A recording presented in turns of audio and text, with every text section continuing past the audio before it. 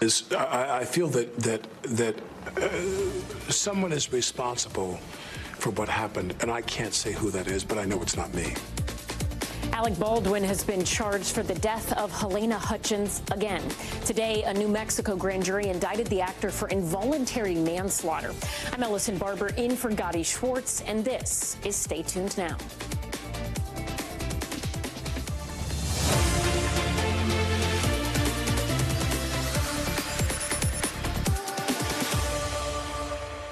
Alec Baldwin is heading to trial over the death of Halyna Hutchins, the cinematographer who was shot and killed on the set of Baldwin's movie Rust when he fired a prop gun that had a live round of ammunition.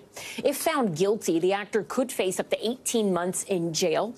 His lawyers responded to the decision saying they, quote, look forward to their day in court. Last November, NBC News obtained six of the dozens of videos turned over to special prosecutors that show Baldwin on set in character and firing the prop guns. The videos also seem to show at some points Baldwin rearranging some of the crew after they'd expressed safety concerns.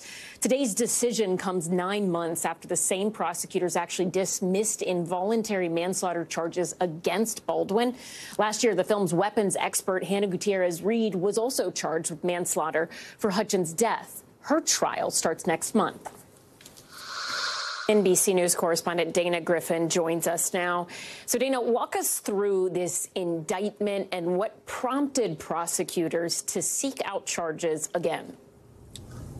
Yeah, Ellison. So when these charges were initially dropped back in April of last year, prosecutors said it was possible that they could be refiled. And that's exactly what happened today, but with a grand jury indictment. So I want to look at the indictment because there are two charges listed, but it will be up to a jury to decide which one sticks if Alec Baldwin is convicted. So one is involuntary manslaughter, negligent use of a firearm, and involuntary manslaughter without due caution or circumspection. That means that he could have possibly pulled the trigger, trigger knowingly or he did it unintentionally, but still it caused the death of cinematographer Halyna Hutchins. And that's why they are criminally charging him in this case because they feel like he should be held accountable. Ellison? So, Dana, do we have any sense of how Baldwin is going to plead? I mean, there was a time when he was very vocal talking about what happened here. He claimed at one point that he did not pull the trigger on the gun at all.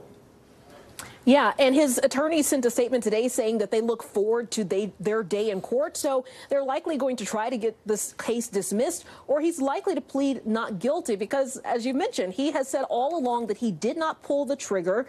Uh, so we'll be waiting to see what happens next, Ellison.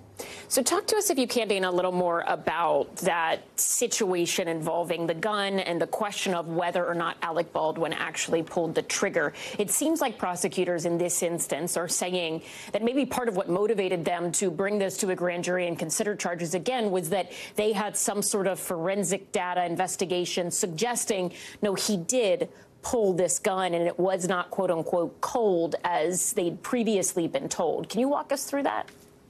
Yeah, exactly. So part of why the charges were dropped last year was because there was some concerns that maybe this gun may not have been working properly. So the prosecutors with the FBI forensics team, they conducted several tests on this weapon to see did it misfire or was it not functioning properly. And in their ballistics report, I can read part of you, they say although Alec Baldwin repeatedly denies pulling the trigger, given the facts, findings, and observations reported here, the trigger had to be pulled or depressed sufficiently to release the fully cocked or retract hammer. So there's the evidence that they say they gave to this grand jury, and that's likely why they issued this indictment today. Ellison? And Dana, there were multiple people sort of involved in this situation in the first go round of trial of charges and discussions of what might happen on the criminal side. There was a weapons expert that actually did have a manslaughter trial. I think it's still ongoing. How could that impact Alec Baldwin?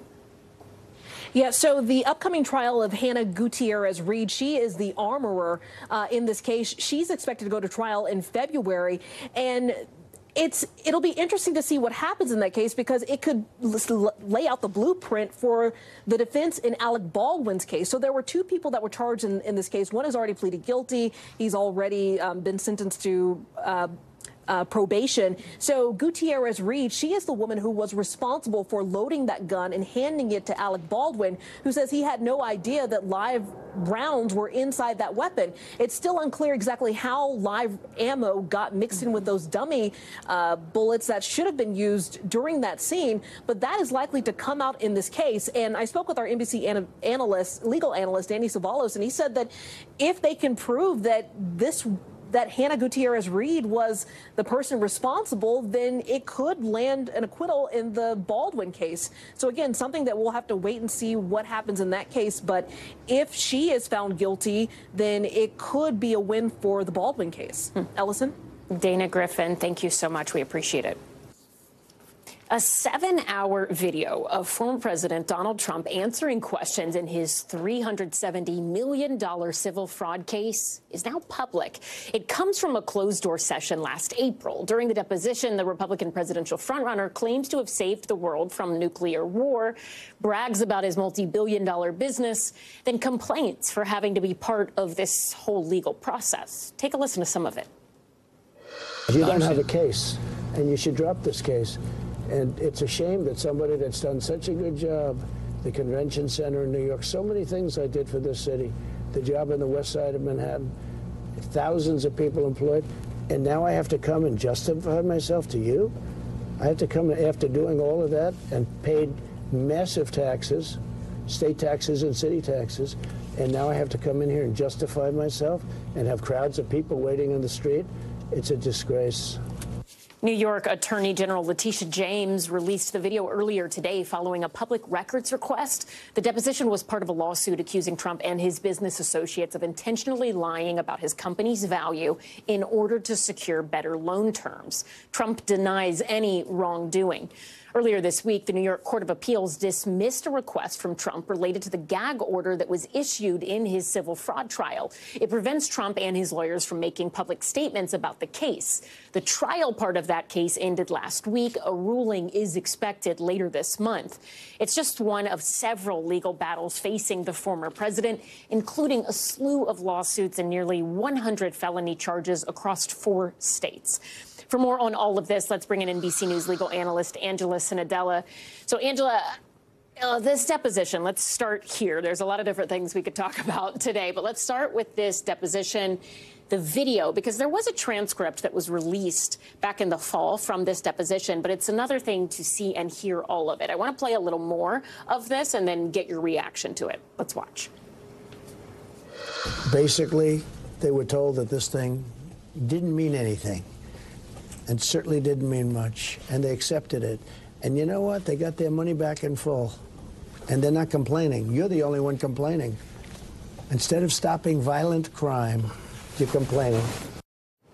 What has been your thought process, reaction to actually seeing all of this? What stood out to you from a legal perspective? So I think we're seeing a lot of these arguments that frankly would have played so well in front of a jury had his team requested a jury trial. Because on its face, these arguments are not unreasonable. There were no victims. Nobody was hurt. This is a standard relationship between a banker, a lender, and a borrower. And that he is allegedly the only one being targeted here. So these arguments, I think, are powerful. The problem, as we know, is this is a bench trial. There's only one judge deciding And the judge is deciding on the letter of the law. And the law here allows the attorney general to have wide discretion to institute penalties, huge ones, even for things just like misrepresentation. So what I'm saying is it doesn't even matter whether or not there were no victims. It doesn't matter if this is standards. What matters is that the judge thinks the attorney general had the power here. When you watch back that deposition, do you think Donald Trump's legal team made a mistake by taking the route that they took and asking for that bench trial instead of something with a jury? I do. I think that his best chance here would have been in front of a jury. As we saw, the judge actually issued summary judgment even before the trial began. In front of a jury, these arguments make a lot more sense. So when we are looking at this case as it is right now, and you have this judge, Judge Engoron, who is going to ultimately make the ruling here, what sort of outstanding questions might he be looking to answer at this point? So we know the summary judgment happened for fraud overall, but now it's a question of whether or not all the instances of fraud happened. And those are actually crimes the attorney general is alleging couched in this civil lawsuit. So the judge is going to see did he actually commit insurance fraud? Did he falsify documents? Was there malicious intent? Did he know what he was doing was wrong? And then as a result, it's a question of damages. What sort of damages will he apply? Because on the table here is a lifetime ban from commercial real estate. In addition, addition to the $370 million plus penalty that you mentioned earlier. Okay, so let's talk about some of the issues in other states where he is being pulled from or there are efforts to pull him from the presidential ballot. Let's look at Colorado here. That is now uh, something that the Colorado State Supreme Court is weighing in on, has weighed in on. The whole argument here in Colorado is centered around the 14th Amendment, right? And tied to January 6th and saying that he is no longer eligible to be president in this state. Talk to us about where things stand with that case and what we have heard in recent days from Trump's legal team. Yes, this is a monster case that is now in front of the Supreme Court, and we just saw Trump's team put a forth of filing, so we know what his arguments are going to be. And there, he's attacking legally every single word in that Section 3 that the presidency is not in office, that the question there is someone holding office, but he's just running for office. He's also saying he didn't actually engage in an insurrection. He is noting appropriately that the prosecutors of any county have not actually gone after him with that precise insurrection charge. But bigger than that, I think, is this heartstrings argument he's making in front of the Supreme Court, which is that if they were to rule against him, they would be disenfranchising millions of people in America. And I think that's going to be the most important argument for the Supreme Court. They never want to take away that right from the voter. Interesting stuff. Angela Nadella, thank you so much for your time and insight. As always, we appreciate it. All right, explosive new claims about Fulton County DA Fani Willis are threatening to derail her election interference case against Donald Trump. Remember, this is the one in Georgia. One of Trump's co-defendants in that case has accused Willis of hiring a romantic partner as her special prosecutor and of financially benefiting from the arrangement.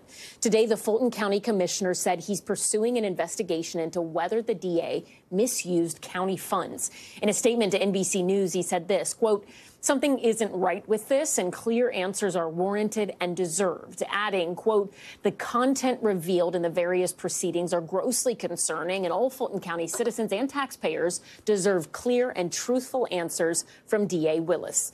NBC News correspondent Blaine Alexander has the details from outside the Fulton County Courthouse. Blaine.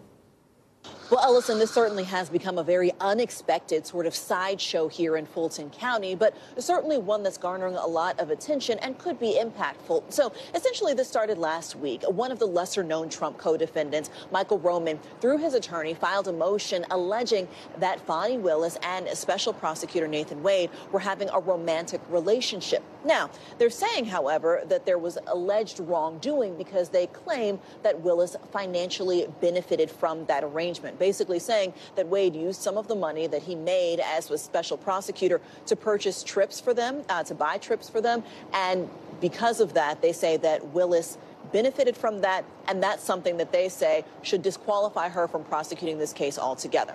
Now, we know that on February 15th, uh, Judge Scott McAfee is going to be hearing arguments on this. He set a hearing to bring forth uh, more information, possibly more uh, evidence on this. It is important to say that that filing did not produce any direct evidence of those claims, only citing people with knowledge.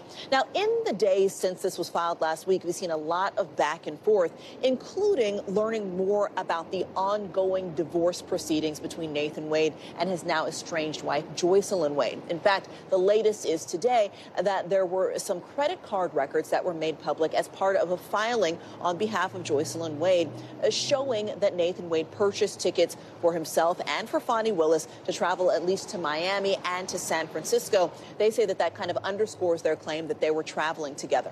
All of this certainly is going to be coming forward in more detail on February 15th. Now, as for Fani Willis, she has not responded to this directly. Uh, her office says that she plans to respond in writing. A judge has set a deadline of February 2nd for her to do so. Ellison? NBC News correspondent Blaine Alexander in Fulton County, Georgia. Thank you. Meanwhile, we are entering the final weekend of campaigning before Tuesday's New Hampshire primary. Donald Trump and Nikki Haley are ramping up attacks against one another as the former president gets a boost from a one time rival. with ties to Haley's home state. Here's Meet the Press moderator Kristen Welker with more. With four days until New Hampshire votes, frontrunner Donald Trump is looking for a victory that could all but wrap up the nomination. Republicans have to get tougher. But Nikki would, I know Nikki very well, she would not be able to handle the onslaught. A new poll showing him with a 17 point lead here over Nikki Haley. Trump arguing she's relying on independents allowed to vote in this GOP primary. She's not going to make it. She has no chance. She's got no way. MAGA's not going to be with her. How am I not conservative? I was a Tea Party governor. I passed voter ID. Haley focusing on age, warning Republicans against choosing a 77 year old nominee to face off against an 81 year old President Biden. Don't you think we need to have mental competency tests for anyone over the age of 75? I actually feel better now than I did 30 years ago. And I think cognitively, I'm better than I was 20 years ago. I don't know why. The generational argument appealing to 23 year old Haley supporter Nathan Seal. Nikki Haley says it's time for a new generation of leaders. Do you agree with her? I agree with her. It's time for a new generation of leaders. I really wouldn't like a matchup between uh, Trump and Biden again. But Augusta Patron says she's struggling with high prices and will vote for Trump. I admire his uh, courage and guts, and I, I, accept the mouth. I think what he's accomplished is uh, awesome. Then there's Doreen Pooler, who's still undecided between Haley and DeSantis. When will you make up your mind? Quite frankly, I'll probably not making up as I walk into to actually fill out my ballot. Don't go anywhere because we are just getting started. Welcome back. Here's some of the other headlines we're watching tonight.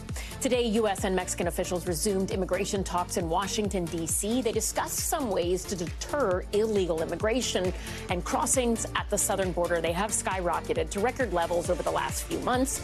President Biden is facing increasing pressure to do something about what is happening there. Secretary of Defense Lloyd Austin has been called to testify before Congress in February. It's over his failure to immediately notify the White House about his recent hospitalization. The GOP led House Armed Services Committee launched a formal inquiry into why the DoD waited three days to tell the White House Austin was in the ICU. The White House this week canceled $5 billion worth of student debt for 74,000 borrowers. The Biden administration said many of the borrowers had their debt wiped after working in public service for a decade. They apparently included teachers, firefighters, as well as nurses. The Supreme Court struck down Biden's debt relief plan last year. The White House has since launched smaller relief programs like this to help those with a lot of student debt.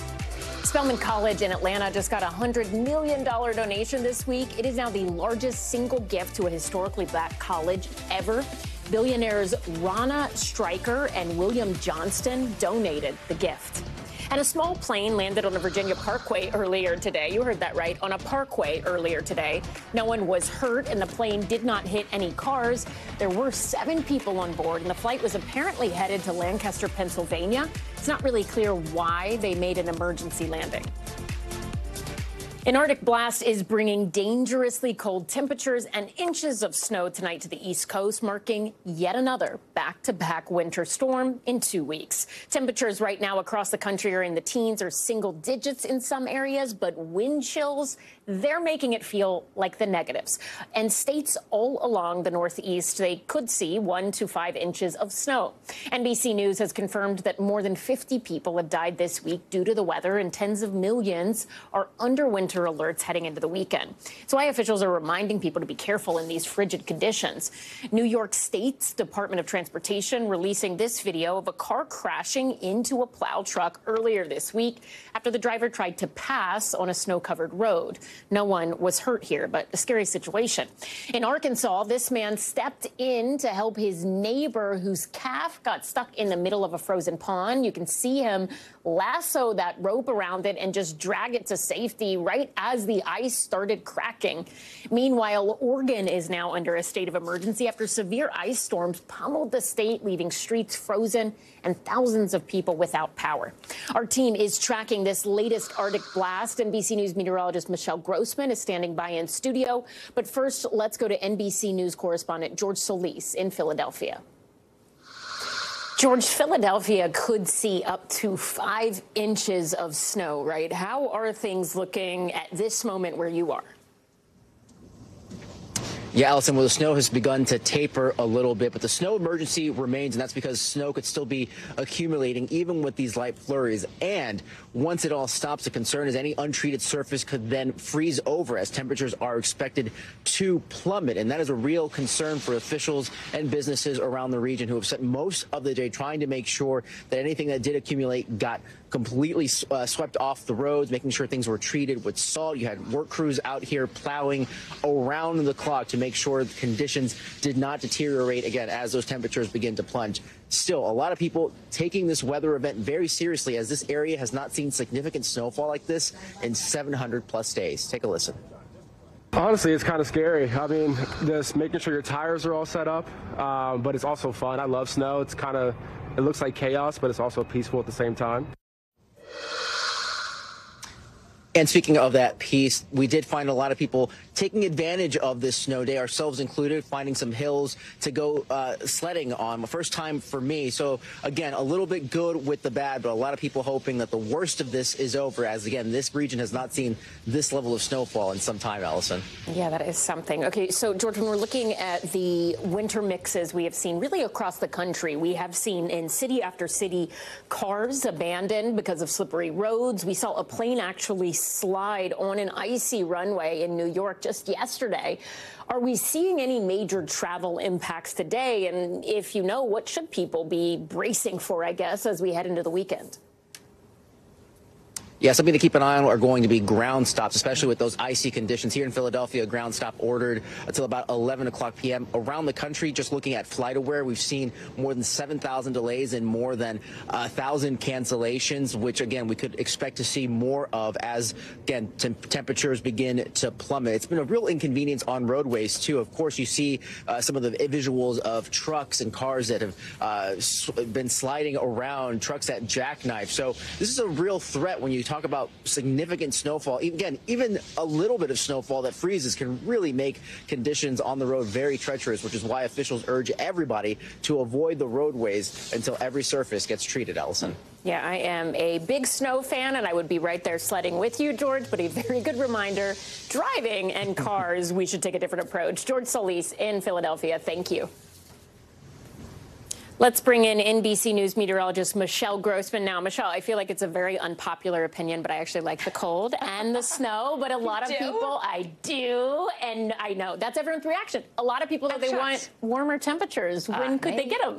me, I want like 78 degrees. We're not going to get that for a while, but we are going to see a pattern change next week. Okay. So uh, first, we need to get through this weekend because we're looking at. I'm still like shocked by that, but 61 million people impacted by wind chill alerts from the northern plains into the central plains. The the Midwest, the Ohio Valley, Tennessee Valley, down to the south central states, into the Gulf Coast states. We're looking at wind chills well below zero in so many spots and air temperatures 20 to 30 degrees below what is typical for this time of year. Also by tomorrow morning, 15 million people impacted by freeze warnings, freeze watches along the Gulf Coast states into the south central states. So you need to cover your pipes. You need to cover those plants that you want to, uh, that want that need to survive uh, despite those cold temperatures. So we're looking at icy cold weekend. Once again, you need to bundle up as you're heading out. And a lot of us are going to see really cold temperatures. Chicago, just 14 degrees tomorrow. It's going to feel like one degree. So you factor in the winds, and we're going to feel a lot colder than that. Feeling like 10 in Memphis tomorrow. Feeling like 20 in Birmingham and D.C. You're going to feel like 12. So once again,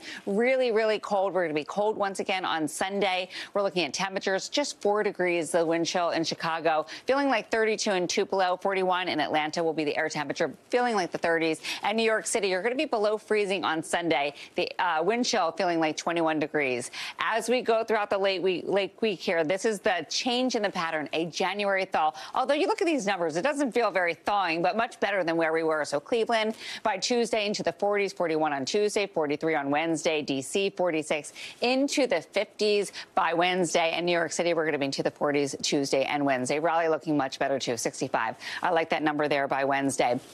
This is why we have that jet stream so far to the south. So we're going to deal with this tonight. We're going to deal with it tomorrow, also on Sunday. It's sort of like opening up your front door to really cold weather. So we're opening up that door to Canada, allowing this Arctic air come all the way down to the Gulf Coast states. So below average for most of us as we go throughout tomorrow, also on Sunday. But then look what happens. That jet stream comes back up, and most of us, at least the eastern half of the nation, the northern tier of the nation that have been suffering with those cold temperatures, are going to be above average. So looking really good. I like when I see some oranges and some reds, some yellows on the map, indicating that milder air come into place. Let's look at the weekend here because we, yeah, we talked about the cold weather in the northern plains, the south central plains, into the northeast as well. We have lake effect snow. We're going to be adding on inches. We're probably not going to be adding on feet like we were the past couple of days, but we still have those really warm lake waters, those really cold winds coming over it. So we're going to add about six inches in some spots from Lake Erie, Lake Ontario down, downwind, also in portions of Michigan as well. Looking good in terms of dry weather in the southeast. And then as we head towards portions of the west coast, heavy rain and snow.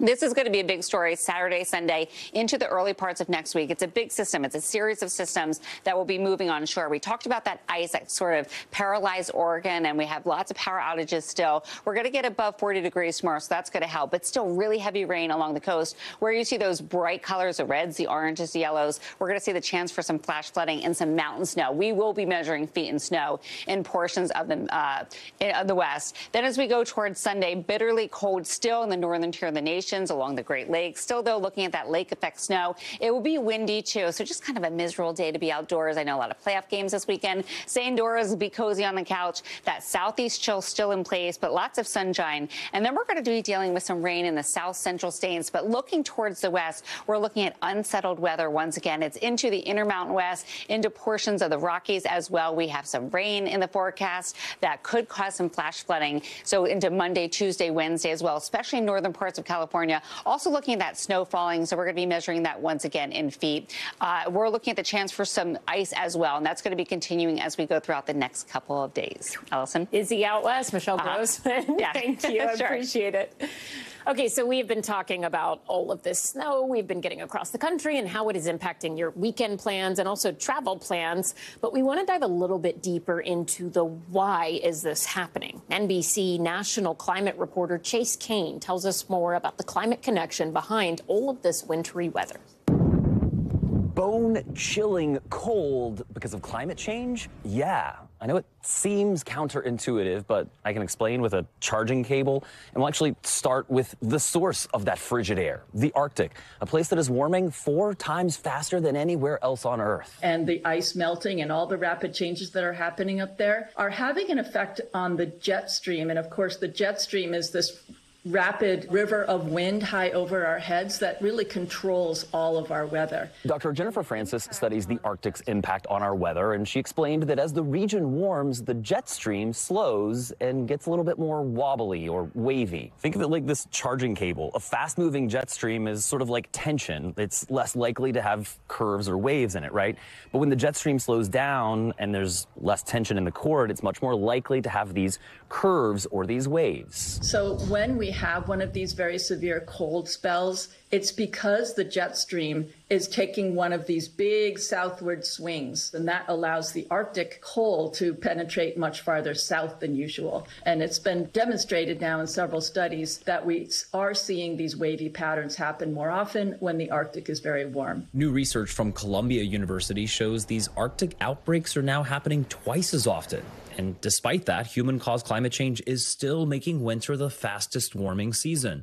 That's also leading to less snow overall, according to another new study. Cities like New York, Philadelphia, and Washington saw the evidence going more than 700 days without an inch of snow. But when snow does fall, climate change appears to be making these storms even more powerful. Your ocean temperatures are warmer. So when you're bringing that northeast flow off the ocean, that's bringing in warmer temperatures, which a lot of times changes it over to rain. But if you still have that cold air, that ocean, that warm ocean off the coast is going to help to produce much more snowfall. These are the one to two feet of snow that comes in and just kind of cripples everything. The same interaction fuels monster lake effect snow along the Great Lakes and out west along California's Sierra. Examples of how climate change is making winter not just warmer, but weirder. I'm National Climate Reporter Chase Cain. Our thanks to Chase Cain for that. Coming up, do you ever wish you learned more real life lessons when you were in school? Like, I don't know, how to file your taxes or maybe how to manage your bills? Well, some third graders are being charged rent to help set them up for success. But first, you gotta see this. Dramatic body camera footage shows the moments a heroic dog joined Michigan State Police to rescue its owner who'd fallen through thin ice. Police there attached a rescue disc onto Ruby's collar and sent the pup back to its owner who helped pull him back to safety. That is what we call a very, very, very good dog. We will be right back.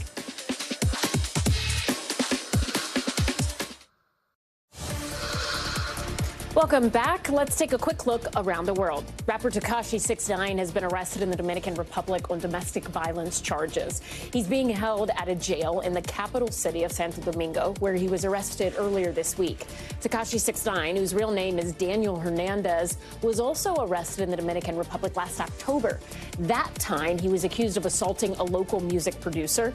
In 2020, he was sentenced to two years in prison after testifying against a known gang he'd admitted to committing various crimes with. In the UK, measles are spreading like, well, the measles. And officials officials there have declared it a national incident. Most of the cases appear to be among children under the age of 10. The disease was considered eradicated in the UK in 2017, but it popped up again a year later, largely due to low vaccination rates. North Korea is claiming it has tested a quote underwater nuclear drone.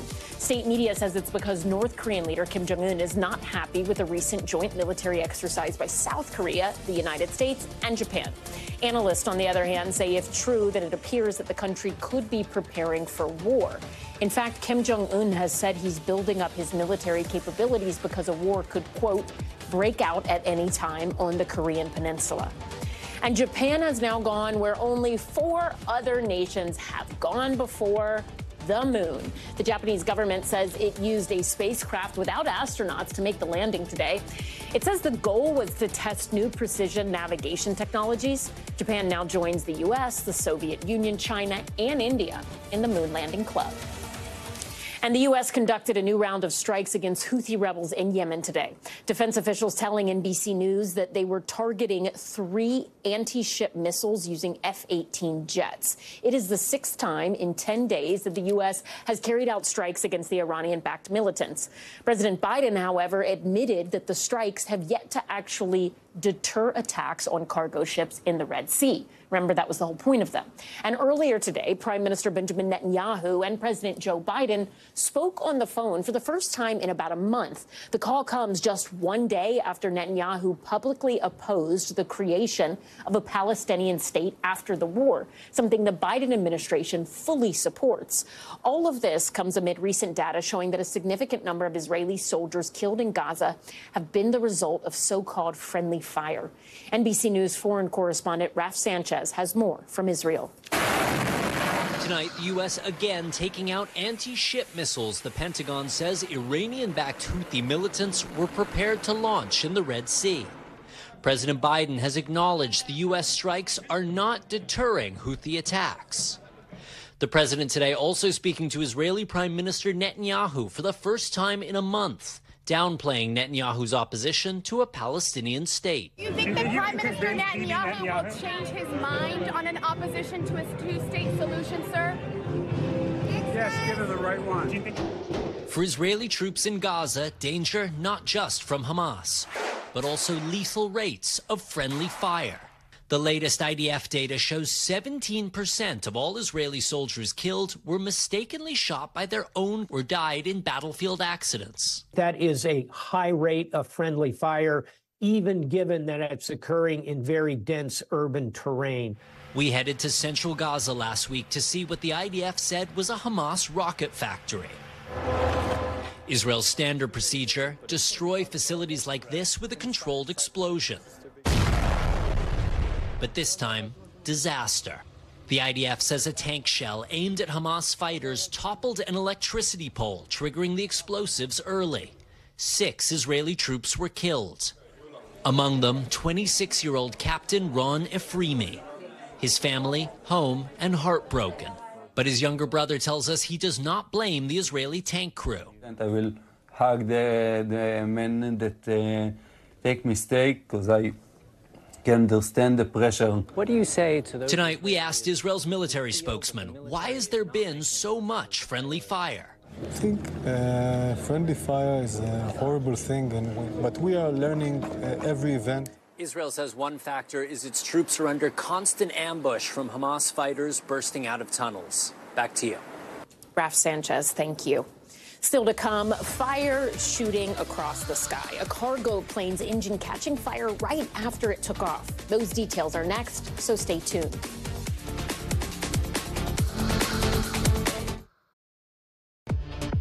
Welcome back. Here are some of the stories happening out west that we're following. Tonight's game between the Golden State Warriors and Dallas Mavericks has been postponed in the wake of Warriors assistant coach Dejan Milojevic's death. It is the second time, it is the second game rather to be postponed after the Serbian coach suffered a heart attack at a team dinner Tuesday night and died on Wednesday. He was just 46 and was a part of the Warriors 2022 NBA championship.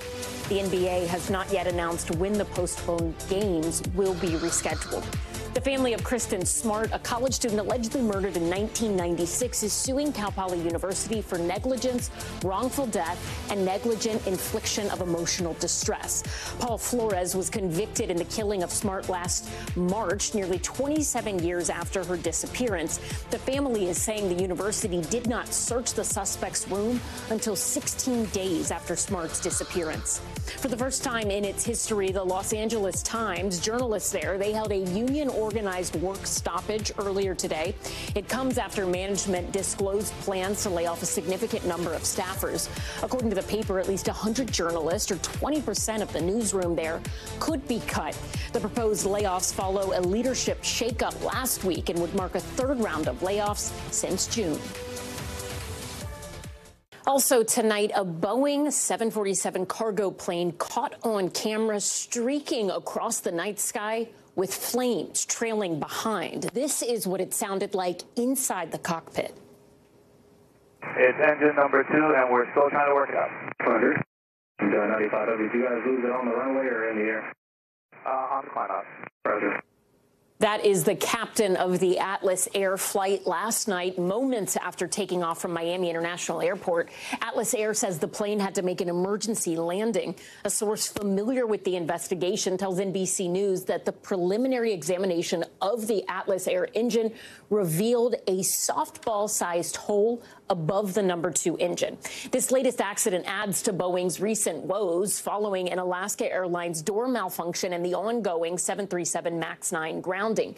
Boeing is not commenting on this latest incident, at least not yet. NBC News correspondent Marissa Parra joins me now with more. So, Marissa, I mean, this video is surprising, but then also not surprising, I think, to a lot of people, just because it feels like Boeing and planes and bad things are constantly in the news right now. But what are investigators looking at here? Do they have any indication of how long it might take to really have a definitive answer on what went wrong?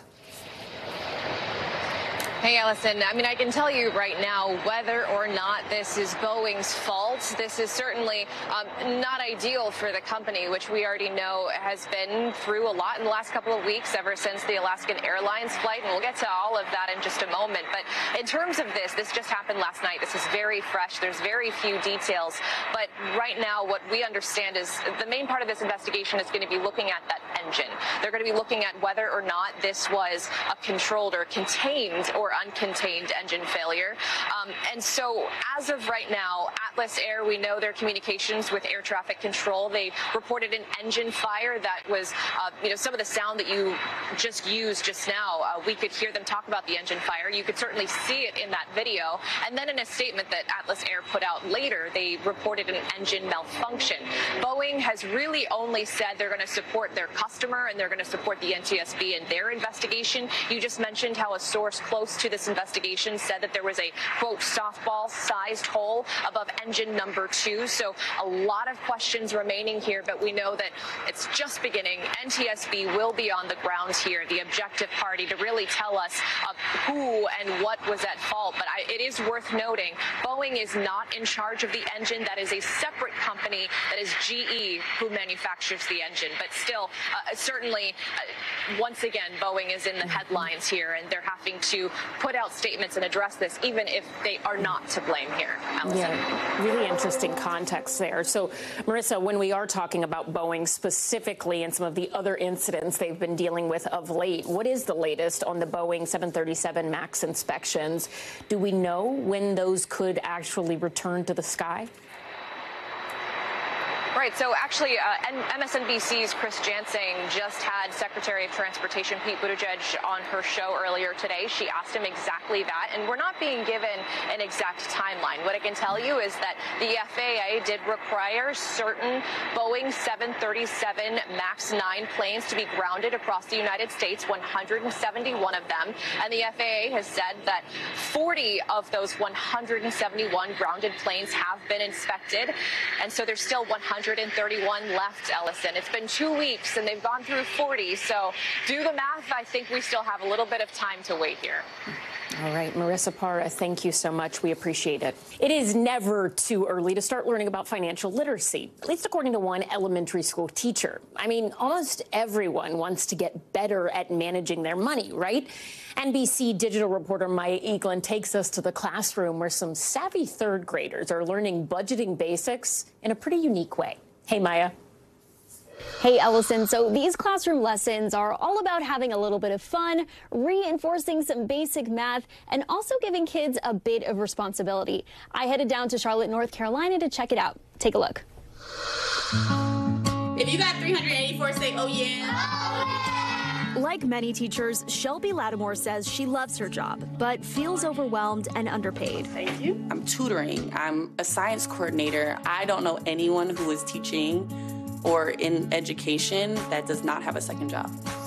But instead of working as a barista on the weekends, Lattimore's viral TikToks have been supplementing her salary as a third grade math teacher in Charlotte, North Carolina. For every million views, she gets around a thousand bucks through TikTok's creator program and brand collabs.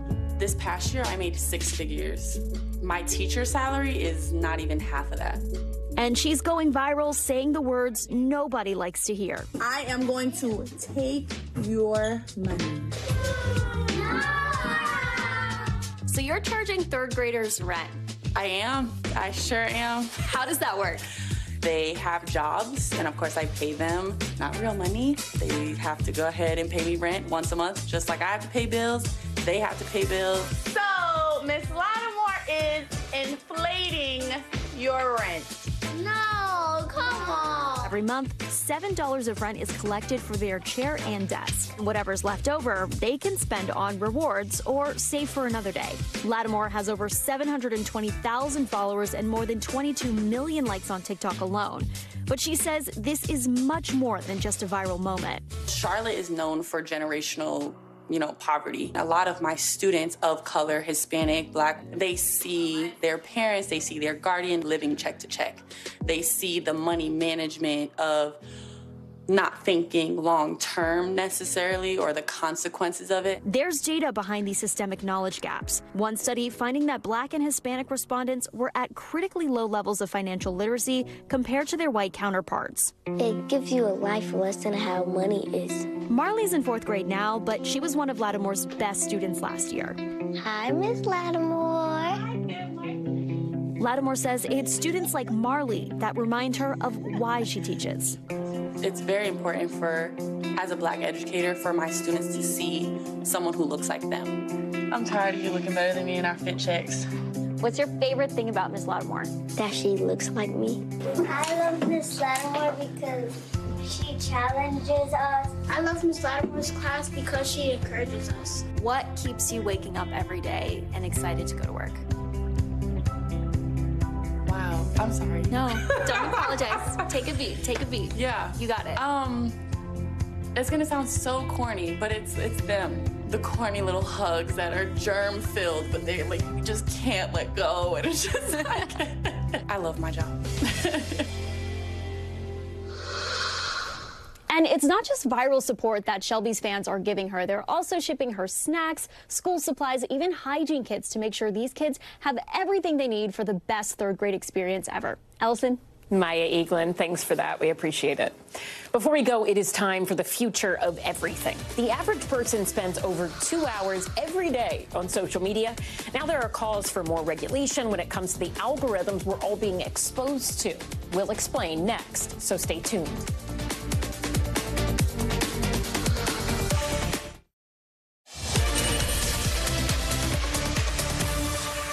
Welcome back. It is time now for the future of everything.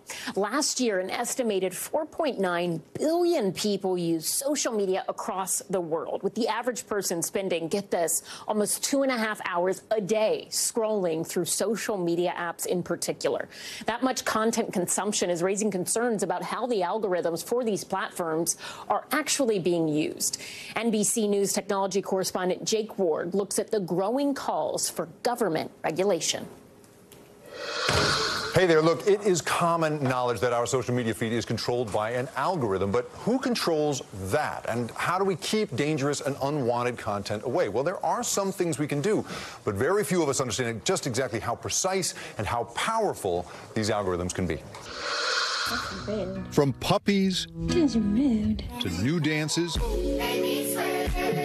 to memes, Americans average more than two hours a day scrolling content fed to us through algorithms based on our specific interests and past online activity. But a growing chorus of critics warns that algorithms can lead us to disturbing places and to making bad choices. These algorithms, uh, they are the digital equivalent of AR-15s. Some public figures are demanding regulations. They ought to be banned. They really ought to be banned. It's an abuse of the public forum. This TikTok user highlighting some of that criticism. Fascinated. I don't actually care about this kind of content. Well, if you care so little, why were you poking around in the comment section then? So, how effective are these algorithms? Think about it this way a grocery store like this one only knows what you are interested in once you've bought something. But a social media company knows every time you pause, even for a moment, to look at anything. And it constantly reorganizes the store to be more attractive to you. And that's why algorithms earn companies billions each year. But they can also lead us astray. In just three clicks, I can go from date night ideas to mind control seduction. China has censored social media for years, and the EU recently passed laws guaranteeing people the right to opt out of algorithms. Both sides of the aisle here have taken up the question of regulation, but no new laws have emerged. Why is the U.S. so far behind? It just becomes a def- definitional issue. So what people will say is, "Oh, we disagree on the specifics of regulation. We don't want it to be overbroad." But in reality, people are afraid of crossing powerful interest groups, business groups, technology lobbyists. That leaves us to figure it out ourselves. Now, you can limit your exposure by turning off the algorithm in Facebook and Instagram. On YouTube, you can turn off autoplay and sign out, which limits its ability to track you. And TikTok, well, you can reset the algorithm if you don't like what it feeds you. So I think it's important to recognize that, yes, we have some agency, but also these systems are constantly making decisions. Until some national standards emerge, it is you against the algorithm. Now, the thing to understand here is that fundamentally this is a cold, hard business, and that business is based on your attention. Whatever you linger on, even for a moment, and especially when it's something emotionally triggering, right? Something, in some cases, even offensive, the more you're going to get that kind of thing. So while you can't opt out completely of these algorithms, you can control a little bit by just being conscious of how much you're telling it about yourself. Jake Ward, thank you. And finally, tonight, let's send you off into the weekend with 60 seconds of joy. Tonight, it is the story of a little boy in Virginia with a birthday, a dream, and a serious love of basketball. Andrew McClung from our NBC affiliate WCYB has this story. To eight year old Nicholas Bostic, basketball is a big part of his life. For Christmas, he got a big surprise from Santa to see the Bulls play the Hornets. And at his eighth birthday party just a few days before the game, he made a wish. I asked for me to see the DeMar DeRozan. Nicholas and his family got a special opportunity to see warm ups, which his mom helped make a sign for that said, Please sign my birthday shirt. And after I got it made, he said, Will you put something on the other side for me? And I said, Well, sure. And he says, I want, hey, DeRozan, I want your job. Then came the day of the game. DeRozan waved Nicholas and his mom down. I wish everybody could have seen it through my eyes because it was it was emotional to see his dreams come true like that. I told him that he was my favorite player, and he said thank you. A birthday dream come true. I can't think of anything we could ever possibly do to encourage him that would be more than what DeMar DeRozan done.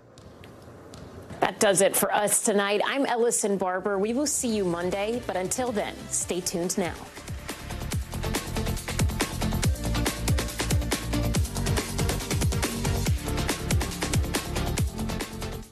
Thanks for watching. Stay updated about breaking news and top stories on the NBC News app or follow us on social media.